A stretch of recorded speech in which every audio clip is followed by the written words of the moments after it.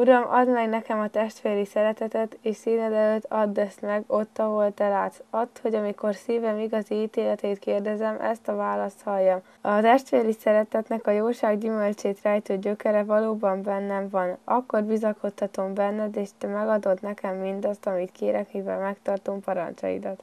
thank you